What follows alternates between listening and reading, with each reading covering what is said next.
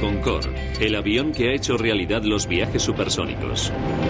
Esbelto y majestuoso, vuela al doble de la velocidad del sonido y es un símbolo de prestigio con un historial de seguridad perfecto. Pero dentro de 120 segundos perecerán 113 personas. Empleando tecnología informática de vanguardia, les revelaremos qué fue exactamente lo que falló. Los desastres no ocurren sin más, son una cadena de acontecimientos críticos. Conozcan las nefastas decisiones que se tomaron en segundos catastróficos. El accidente del Concorde.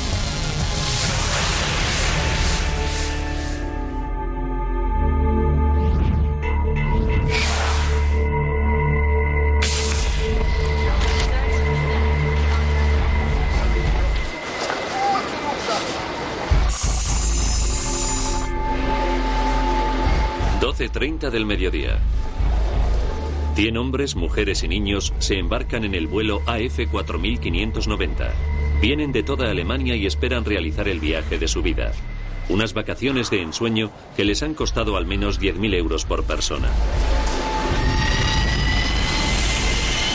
Empiezan con un vuelo supersónico en el Concorde a Nueva York. Y después, un crucero de lujo por el Caribe. Para el padre de George Mayer se trata de un regalo para celebrar su jubilación. Cumplió 65 años en el 2000 y quería que esto fuera un regalo para su pareja y para él. A los dos les gustaba viajar y siempre lo hacían de modo especial. El Concorde es un avión único, elegante, lujoso y sobre todo súper rápido. Volando a más de 2.200 kilómetros por hora, enlaza Norteamérica con París o Londres en 3 horas y 45 minutos. La forma singular del Concorde, con una cabina fina como un lápiz y amplias alas delta, le facultan para surcar el cielo a medio kilómetro por segundo. John Hutchinson lleva 15 años volando en el Concorde. La mejor forma de describirlo es compararlo con un pura sangre. Es un avión hermoso, eficaz, potente, como un ganador del derby de Kentucky.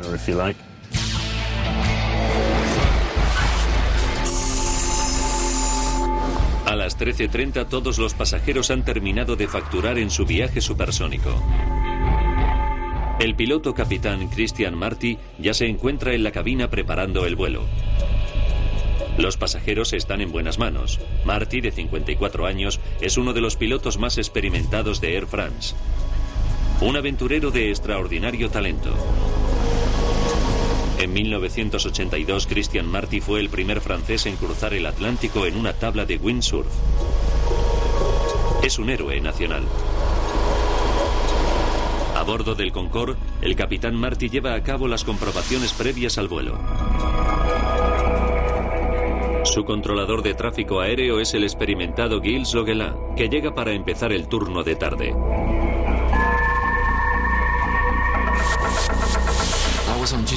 Me encontraba en mi puesto en la torre de control sur del aeropuerto Charles de Gaulle de París. Ese día no iba a haber trabajado, pero un compañero me pidió el día anterior que le cambiara el turno. Así que él hizo mi turno de mañana y yo el suyo por la tarde. El cambio de turno lleva aparejada una sorpresa inesperada. Gilles Logeland se convierte en el controlador responsable del despegue del Concorde. El Concorde es uno de los aviones más bellos que he visto. Tiene una línea muy pura. Me encantaba verlo aterrizar y despegar. Durante la comprobación previa al vuelo, el capitán Marty descubre que el motor número 2 tiene un fallo técnico. Hay que cambiar una pequeña pieza. No es nada serio, pero en el Concorde la seguridad ha sido siempre un paradigma. Tras 40.000 vuelos y 900.000 horas de vuelo nunca se ha producido una fatalidad. La reparación retrasa una hora la salida del Concorde. 15.54. Los pasajeros empiezan a embarcar. Entre ellos se encuentra la familia H. Christian, Andrea y sus dos niños, Maximilian y Katarina.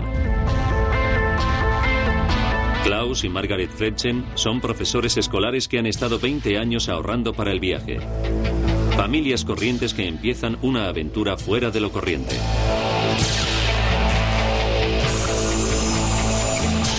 A las 16.35 el Concorde está listo para despegar.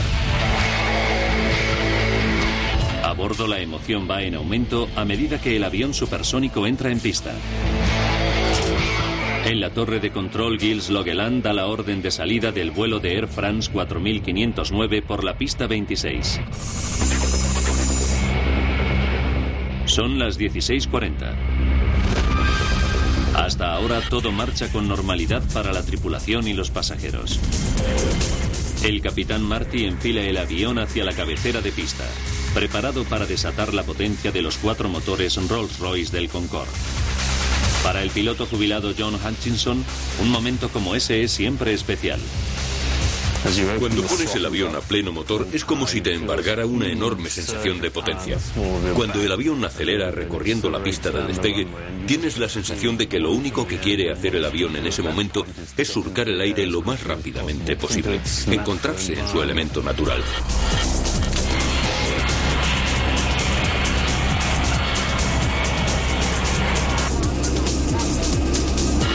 Desde la torre de control, Gilles Logeland supervisa el despegue. Me quedé contemplando el Concorde mientras adquiría potencia sobre la pista porque era algo digno de ver. Es un avión muy pesado, así que se pone en marcha poco a poco. Luego va ganando velocidad. El Concorde acelera por la pista de 4 kilómetros. Sobrepasa los 320 kilómetros por hora. Hemos empleado gráficos digitales para recrear lo que ocurre a continuación. Para Gilles es un momento de puro horror. De repente vi llamas justo detrás del cuerpo de la aeronave.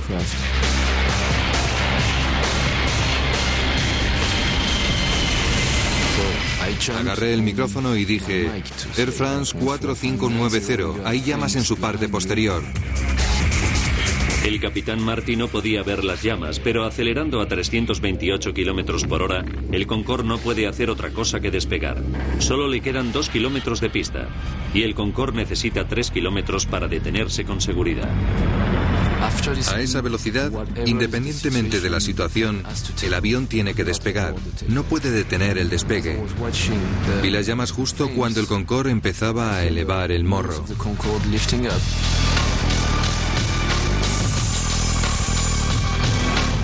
Las 16 horas 43 minutos y 15 segundos, el capitán Marty tira de la palanca de control y el Concorde se eleva en el aire. Así es como vieron el Concorde los testigos. Martín Bornet trabaja en una oficina en el extremo occidental del aeropuerto. A las 16.44 contempló una visión aterradora. Estaba mirando por la ventana y vi al Concorde despegar muy despacio, con la parte posterior en llamas. Tuve mucho miedo porque pensé que a causa del fuego el avión explotaría justo encima de mi oficina.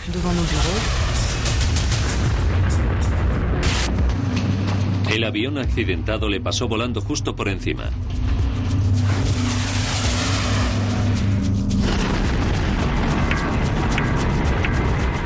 Cerca de donde trabaja Martín, el mensajero Emanuel Bermiñón iba conduciendo su furgoneta cerca del final de la pista.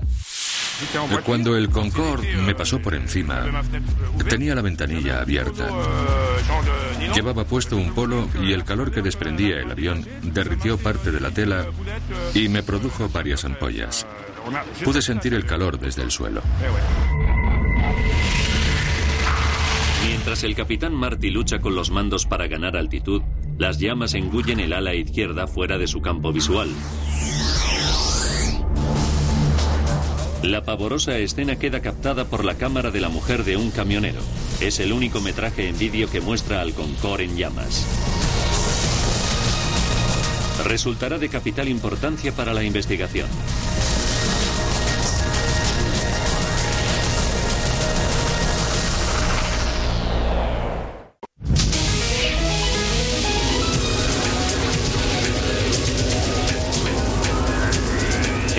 Aeropuerto de París acaba de despegar un Concorde, pero el avión está ardiendo y las 109 personas a bordo corren un grave peligro.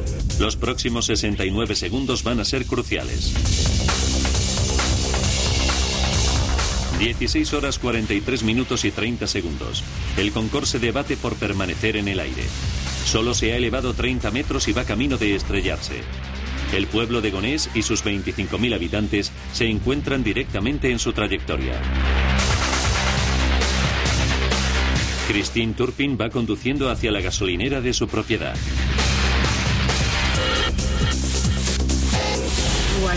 Volvía a casa cuando vi el avión. Era un Concorde ardiendo por la parte de atrás. Frené y detuve el coche. Y miré el avión en llamas. Al capitán Marty se le acaban las posibilidades. El ala izquierda del Concorde se está desintegrando. El ejecutivo Patrick T. se encuentra situado bajo la trayectoria del avión. Estaba en mi oficina, hablando con una agencia. La ventana da a la pista de aterrizaje.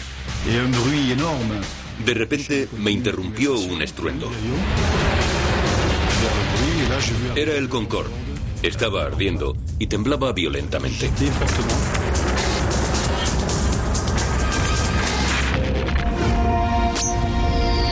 El Concorde se escora hacia la izquierda. El avión se queda sin fuerza y se precipita contra el suelo.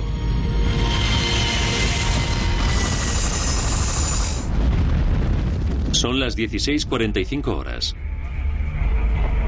Es el momento que todo controlador aéreo abomina. Gilles Logelan coge el micrófono.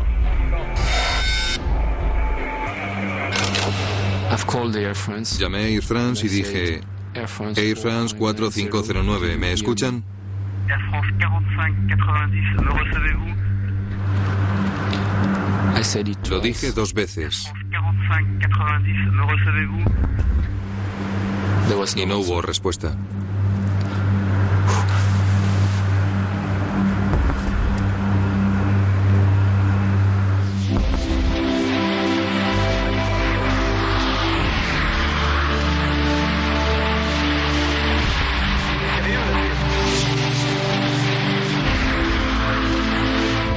Supersónico cargado de combustible y con 109 personas a bordo se estrella sobre un hotel en las afueras de Gonés.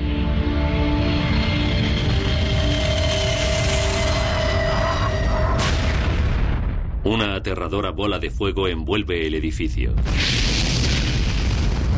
La profesora británica Alice Brookin acababa de entrar en su habitación del primer piso.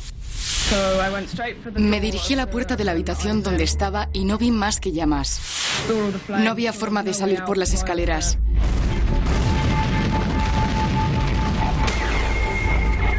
Salté cruzando la habitación por encima de la cama hasta la ventana.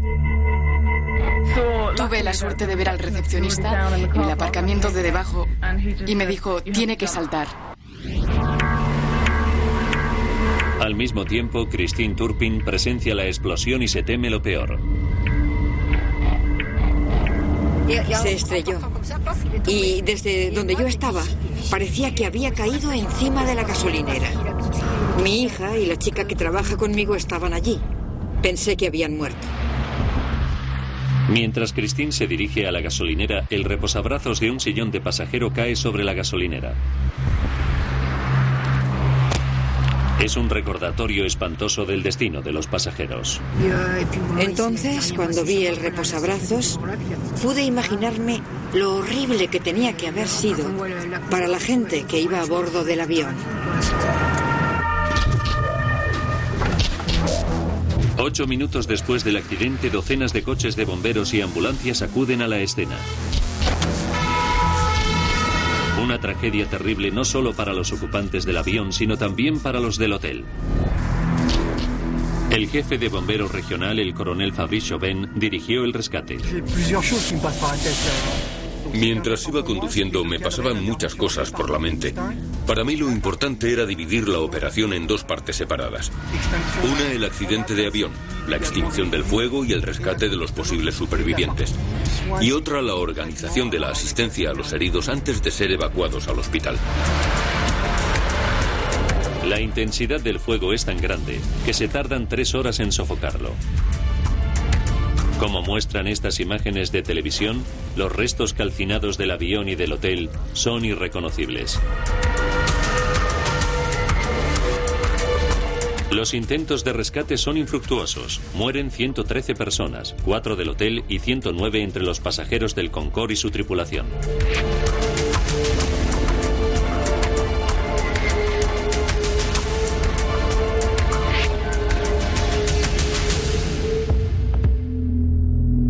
Perecen tres generaciones de la familia H. Los abuelos de los niños habían invitado a toda la familia a unas vacaciones soñadas y habían reservado pasajes en el Concorde. Los profesores Margaret y Klaus Fretzen llevaban ahorrando 20 años para volar en el Concorde. Los equipos de rescate comienzan la desagradable tarea de recuperar los cuerpos de la escena del accidente.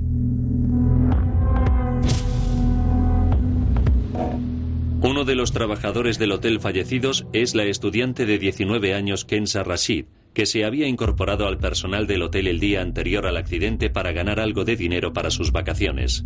Otra víctima es la doncella Debrani Chandan Singh, que fallece dejando huérfanos a sus dos hijos. La mayoría de los cuerpos están calcinados, lo que imposibilita su identificación. Los patólogos forenses solo pueden identificar a las víctimas por sus expedientes dentales. Es un momento tristísimo para los familiares de las víctimas, como Georg Mayer. Una de las cosas más difíciles fue tener que identificar a mi padre y a su pareja. Después de un accidente aéreo no queda mucho de los pasajeros. Fue muy difícil. George tendrá que esperar dos semanas hasta que los patólogos identifiquen los restos de su padre. Tuvimos que esperar todo ese tiempo. Pueden imaginarse que no resultó nada fácil, un día tras otro.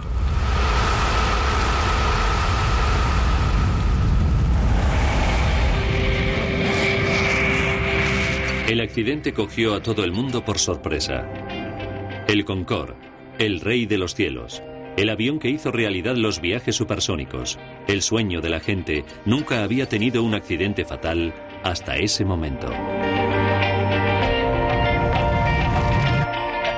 Pero no se tarda más que 120 segundos en destruir un historial perfecto. Ahora, recapitulando los sucesos de aquel nefasto día y profundizando en la investigación, podemos revelar lo que ocurrió en realidad. Los vanguardistas simuladores informáticos nos llevarán donde no llega ninguna cámara, al corazón del lugar del siniestro.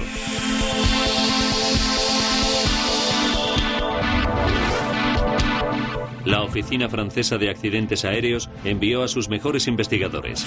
A través de sus datos podemos ahora reconstruir la mortal cadena de sucesos para averiguar lo que causó en realidad la horrible tragedia.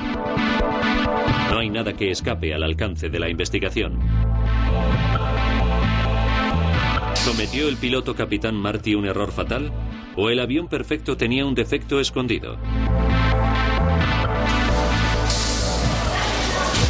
Los investigadores efectúan revisiones rutinarias de las listas de pasajeros y equipajes. Inmediatamente encuentran algo sospechoso. 19 bultos de equipaje que según la lista de embarque no deberían haber estado a bordo. No pertenecen a los pasajeros del vuelo AF 4590. ¿Podría un terrorista haber metido una bomba en el avión? No sería la primera vez. En 1988 murieron 270 personas cuando los terroristas pusieron una bomba en el equipaje que destruyó un 747 de la Panam en el famoso atentado de Lockerbie. En Gonés, los investigadores dividen el lugar del siniestro en una rejilla para llevar a cabo una búsqueda meticulosa. Fotografían y etiquetan lo que encuentran en cada sección.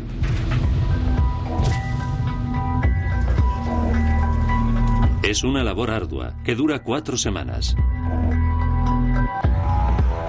Entonces, todos los restos del accidente son trasladados para su análisis e identificación.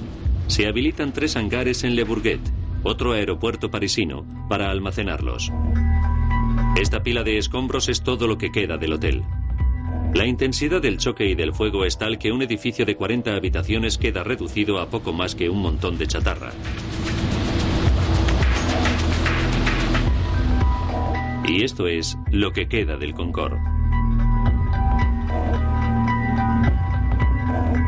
Uno de los ejemplos de la ingeniería moderna más avanzada del mundo ha quedado reducido a un montón de hierros retorcidos, goma, aluminio, plástico fundido e instrumentos hidráulicos rotos. Los investigadores franceses separan e identifican cada fragmento. Entre estos restos calcinados se encuentran las claves cruciales para el hallazgo de la causa del accidente del Concorde.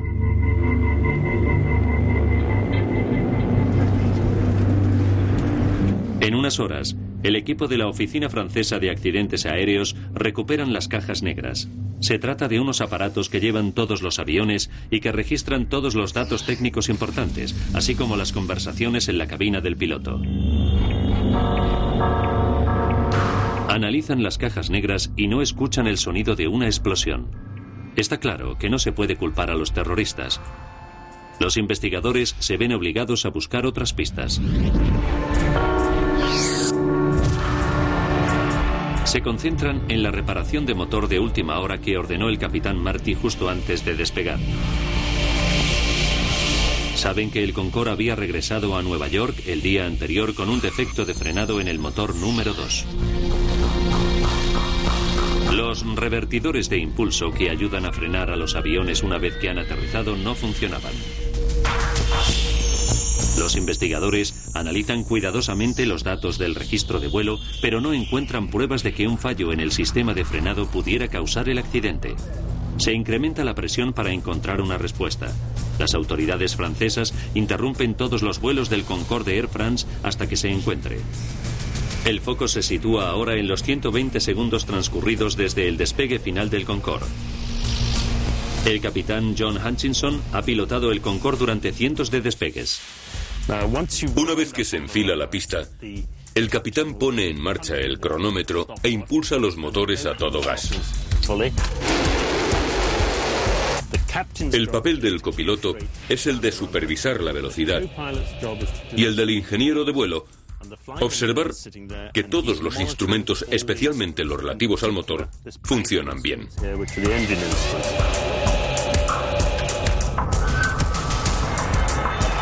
Los datos de la caja negra verifican que todo marchaba con normalidad hasta que el Concorde alcanza los 323 kilómetros por hora. En ese momento, el Concorde está a 79 segundos del desastre.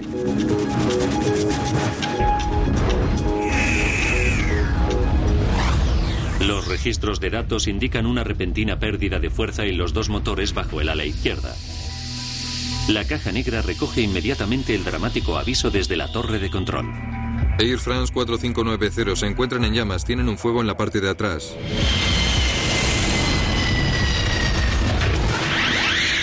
A pesar del aviso, el capitán Christian Marty ha sobrepasado ya el punto sin retorno. No hay suficiente pista para frenar con seguridad. Tiene que despegar. Tiró de la palanca del cuadro de mandos para rotar el morro del avión hasta un ángulo de 12,9 grados y tuvo problemas con los motores del ala izquierda, que no produjeron la energía que debían. Le costaría muchísimo mantener el control de la aeronave e intentar coger velocidad. Y se vio superado por los problemas de los dos motores izquierdos. Los motores se han convertido en el nuevo núcleo de la investigación. ¿Por qué perdieron fuerza en un momento tan crítico?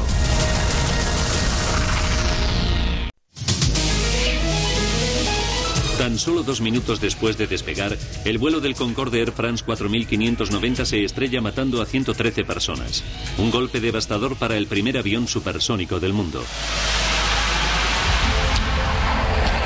Empleando avanzados gráficos digitales basados en el informe oficial, profundizamos en la investigación para desentrañar la cadena de sucesos mortales. Los investigadores saben que los dos motores izquierdos pierden fuerza cuando el Concorde supera los 323 km por hora sobre la pista. ¿Pero por qué? Entonces se produce un nuevo e importante hallazgo. Los investigadores franceses encuentran varios fragmentos de neumáticos sobre la pista. Uno de ellos pesa 4 kilos y medio. Las pruebas confirman rápidamente que pertenecen al Concorde. Es un hallazgo significativo. ¿Por qué? Porque las ruedas del Concorde se inflan a una presión extremadamente alta que las hace más proclives a estallar que las de los demás aviones, especialmente durante el despegue y el aterrizaje. El piloto John Hutchinson nos lo explica. Cuando el capitán tira de la palanca para rotar, en realidad lo que está haciendo es comprimir el tren de aterrizaje sobre la pista. Así que en ese momento la presión sobre los neumáticos es todavía mayor.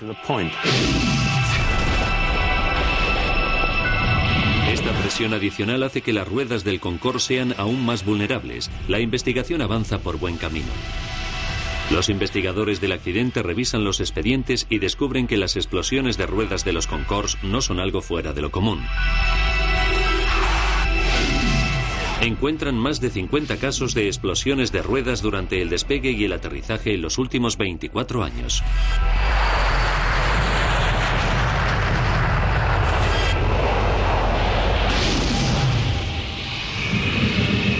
Otro de los peores incidentes producidos con un Concorde Air France tuvo lugar en el aeropuerto Dallas de Washington en 1979. Bill Lightfoot era uno de los pasajeros de ese Concorde. Pude ver un gran agujero en el ala, con trozos de aluminio o algún otro metal. Por el agujero que se había abierto en el ala, salió un montón de líquido. El informe oficial de ese accidente explicaba que el neumático explotó durante las maniobras de despegue. Después, la parte de metal expuesta se recalentó mucho y estalló justo antes de despegar.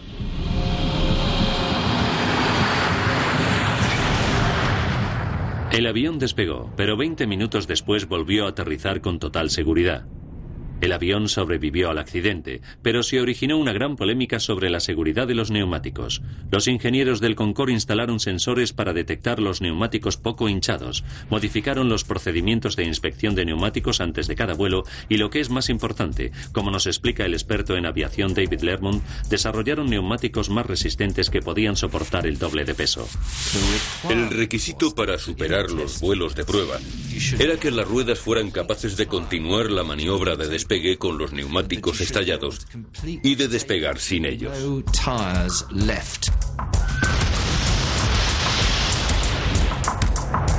Como consecuencia, desde entonces, todas las ruedas podían despegar sin neumáticos y nunca volvieron a fallar. Nunca hasta 18 años después, en París, cuando se produjo un fallo muy grave. A pesar de todas las medidas de seguridad, una de las ruedas del Concorde estalla en pedazos. Los investigadores profundizan en el asunto. Vuelven a examinar los restos hallados sobre la pista y realizan el descubrimiento más importante de la investigación. Esta misteriosa tira de metal de 43 centímetros. Si se compara la tira de metal de 43 centímetros con el daño en la rueda del Concorde, ambas partes encajan a la perfección. De repente, toda la investigación depende del origen de esta tira de metal. ¿De dónde proviene? Tras cinco semanas de laborioso trabajo, Comparándola con las miles de piezas que componen el avión se produce un avance.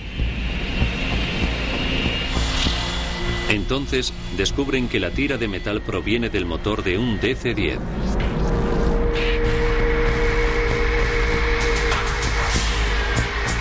El calendario de vuelos del aeropuerto revela que un DC-10 de Continental Airlines despegó de París cinco minutos antes que el Concorde. Siguieron la pista a ese avión hasta Houston, en Texas, donde con gran asombro descubrieron que al motor de la aeronave le faltaba una pieza, era la tira de metal que había sido repuesta 10 días antes durante una inspección de mantenimiento.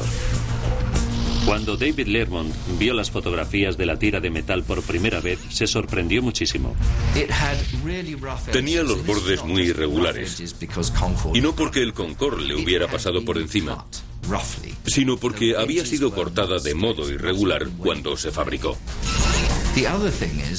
Además, tenía por todas partes unos agujeros como para poner tornillos. Ahora los investigadores tienen una teoría muy bien fundamentada sobre cómo contribuyó al accidente esa tira de metal.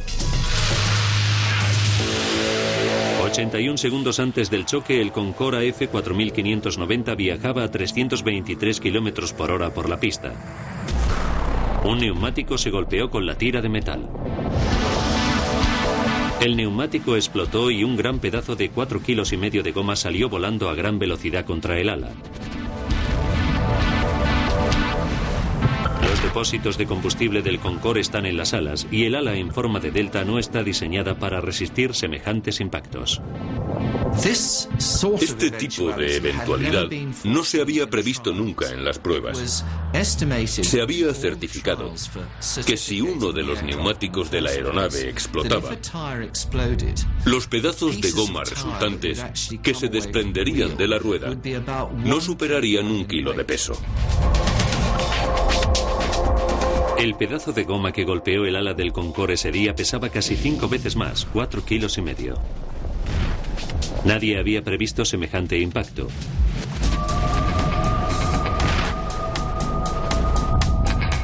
Por otro lado, el gran fragmento de goma encajaba en la abolladura del ala. Pero sorprendentemente, el ala no estaba agujereada por ese sitio. Así que si el pedazo de goma no había causado un agujero en el ala, ¿Qué fue lo que causó la pérdida de combustible? El fragmento de neumático que golpeó el ala y causó la abolladura era tan grande y tan plano que, a pesar de su peso, no taladró el ala. Pero sí que produjo una onda expansiva que hizo saltar el tapón del depósito de combustible. Se trató de un impacto muy fuerte.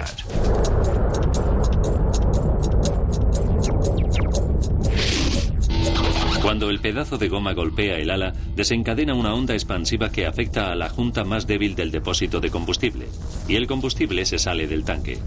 Cada motor del Concorde consume 75 litros de combustible por segundo. Pero incluso el combustible desbordado sobre el motor necesita una chispa para entrar en ignición. ¿De dónde vino esa chispa?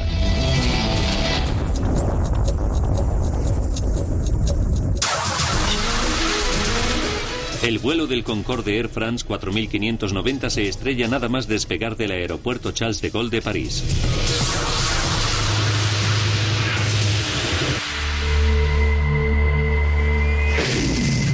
Nuestros gráficos simulan imágenes de una cámara virtual situada sobre la pista para desvelar la causa del accidente. Cuando el avión recorre la pista de despegue, una tira de metal en el suelo hace explotar un neumático. 81 segundos antes del choque, un gran pedazo de goma sale volando contra los depósitos de combustible. El combustible se desborda sobre los motores. Pero eso no basta para causar una catástrofe. Hace falta una chispa.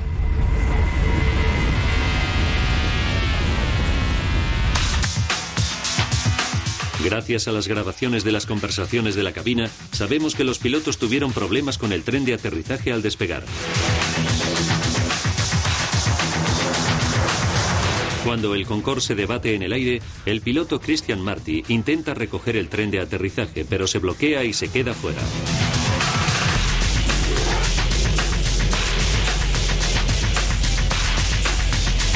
El único metraje de vídeo grabado del accidente nos proporciona pruebas adicionales. Muestra el tren de aterrizaje desplegado. ¿Qué impidió que las ruedas se retranquearan? En esta simulación por ordenador puede verse la explicación más posible.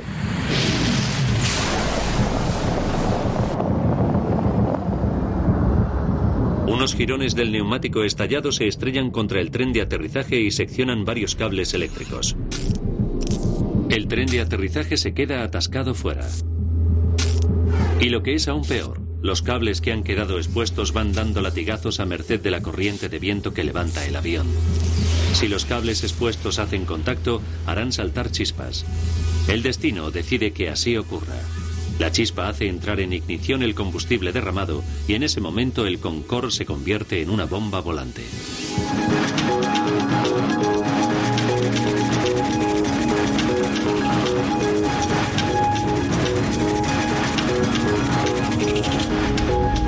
Ahora podemos contarles cómo fueron esos momentos para el capitán Marty en la cabina del piloto. Desde el asiento del piloto no puede ver las llamas. Lo único que sabe es que el Concorde pierde potencia por el motor número 2 al despegar. Un segundo después, la torre de control le alerta del fuego. Air France 4590 tiene llamas en la parte de atrás. Los gráficos creados por el ordenador nos muestran el aspecto que debía tener el Concorde. Para empeorar las cosas, el motor número uno también está perdiendo potencia. Los acontecimientos conspiran contra el capitán Marty. El experto en aviación David Lermont nos explica por qué. Había un enorme flujo de combustible saliendo por el agujero y ahogando el motor, que gradualmente fue perdiendo potencia y al final se apagó. Los pilotos se quedaron con solo dos motores del ala derecha cuando están acostumbrados a tener cuatro. No podía haber sucedido en peor momento. El capitán Marty necesita la máxima potencia y no queda suficiente pista para parar. Se las arregla para hacer despegar al Concorde. Las grabaciones de voz de la cabina revelan que a las 16 horas, 43 minutos y 22 segundos suena la alarma de fuego y tres segundos después el capitán apaga el motor número 2.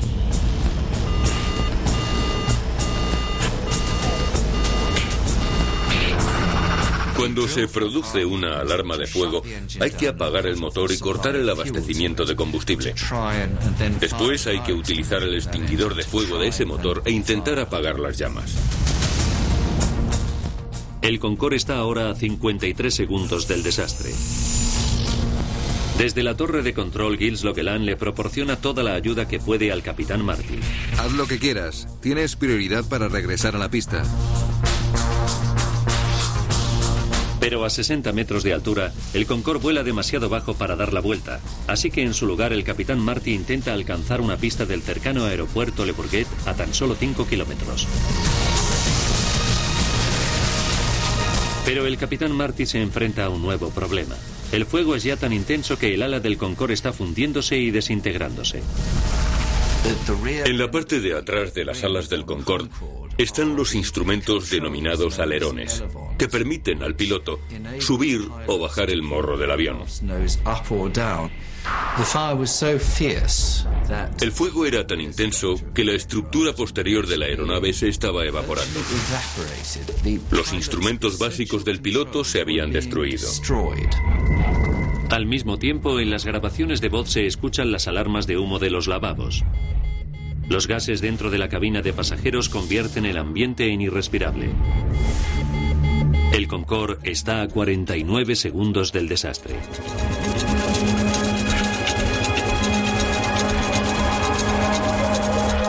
En la cabina, el piloto Christian Marty lucha con los mandos tratando de ganar altura y velocidad, pero se ve superado por la desintegración del ala y sus instrumentos.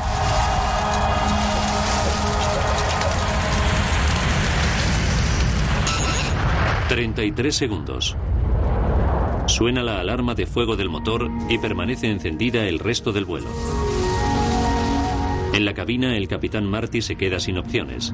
Incluso el aeropuerto de Le Bourget, a tan solo 3 kilómetros, está ahora fuera de su alcance. 11 segundos antes del impacto, en la torre de control, se escuchan las palabras finales de Christian Marty. Demasiado tarde.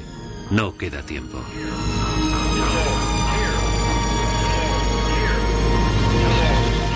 Quedan cuatro segundos. El avión vuela por debajo de los 15 metros. El apocalipsis se produjo cuando el avión se inclinó a unos 110 grados del suelo. A partir de ese momento, la aeronave es totalmente incontrolable.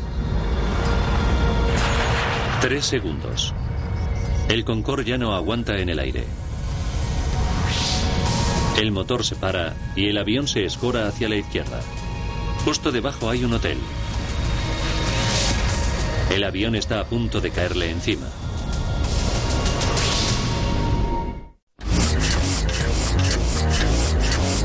Justo 118 segundos después de que el Concorde empezara a acelerar por la pista de despegue, 109 personas se enfrentan a la muerte.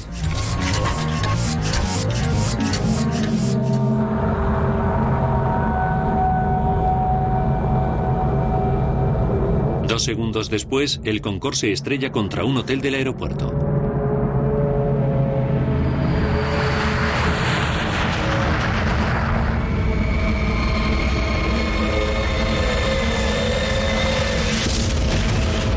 Los 100 pasajeros y los 9 miembros de la tripulación resultan muertos, así como cuatro personas del hotel. El controlador aéreo Gilles Logeland guió al Concorde en su despegue final y es testigo directo de esos espeluznantes últimos segundos. Sabía que todo había terminado. Aunque sabía que se trataba de una realidad confirmada, me resistía a aceptar los hechos. Todavía sigo teniendo la sensación de que no ha ocurrido de verdad, de que no fue algo real. Me negaba a aceptar que había ocurrido.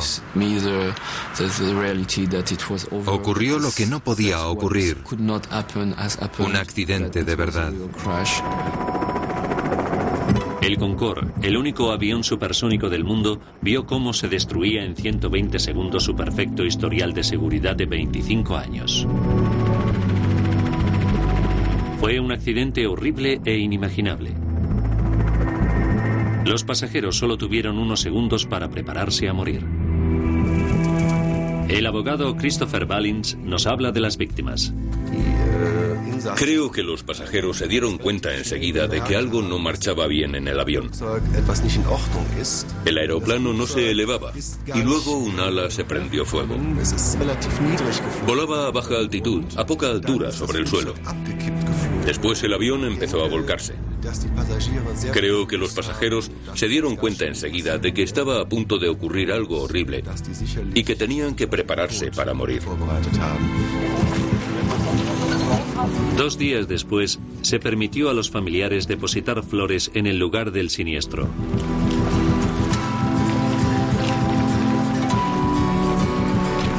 Incluso hoy en día, no les ha abandonado la sensación de pérdida.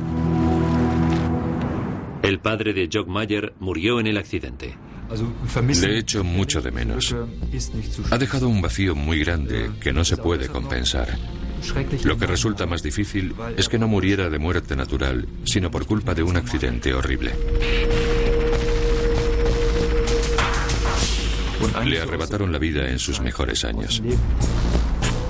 El desastre también fue traumático para los habitantes que sobrevivieron del pueblo de Gonés. El ejecutivo Patrick Tess escapó de milagro. Trabaja en el edificio de al lado del hotel destruido por el Concorde. Todavía sigue impresionado por el accidente.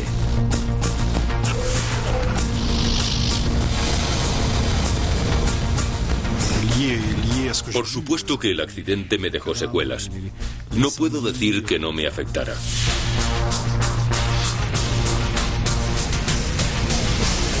Fue horrible ver todo lo que vi.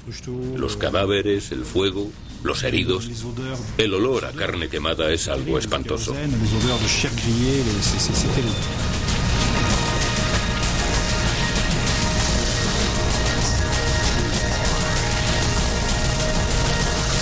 Para el Concorde el desastre de París fue el principio del fin. Tres semanas después del siniestro se suspenden todos los vuelos del Concorde. Air France y British Airways, las dos líneas aéreas que operan los vuelos del Concorde, tienen que introducir importantes modificaciones en la seguridad. Se refuerzan los neumáticos para que permanezcan operativos incluso si se pinchan con una cuchilla de 30 centímetros. Los ingenieros recubren los tanques de combustible con un revestimiento de Kevlar a prueba de balas para que resistan los impactos. Además, se refuerzan las conexiones eléctricas del tren de aterrizaje.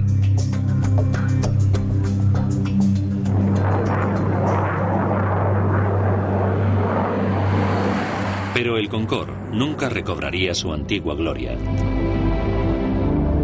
14 meses después del accidente, se reanudan los vuelos de pasajeros en el Concorde, pero el coste de mantener y actualizar la envejecida flota es demasiado alto. El número de pasajeros se ve enormemente reducido. El 24 de octubre de 2003, el Concorde transporta pasajeros por última vez. La era de los viajes supersónicos ha terminado. El Concorde se ha convertido en una reliquia de museo.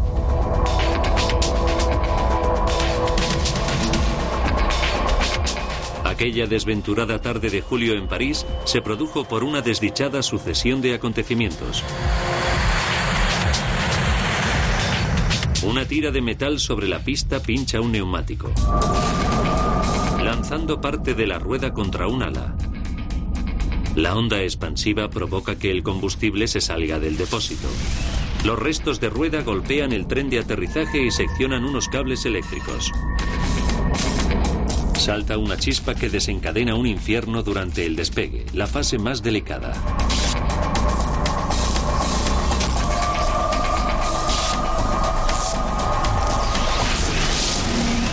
Partir de ese momento el Concorde está predestinado al desastre. Una cadena de acontecimientos que nadie podría haber previsto provoca su destrucción.